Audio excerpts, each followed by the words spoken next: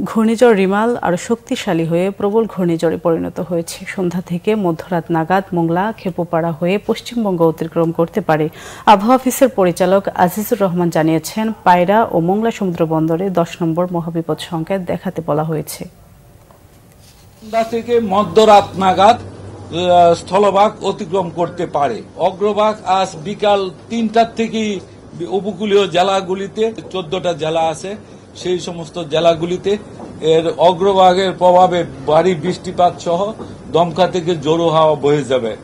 এবং এটা যতই সাইক্লোনটা উপকূলের দিকে অগ্রসর হতে থাকবে, ততই সেই দমকা বাতাস এবং বৃষ্টিপাতের পরিমাণ ক্রমান্বয়ে বৃদ্ধি পাবে এবং এটা স্থলভাগের দিকে ততই অগ্রসর হবে। এবং ফাইনালি এর যে কেন্দ্র, এটি মধ্যরাতের মধ্যে এটা বাংলাদেশের উপকূল অতিক্রম সম্পন্ন হবে।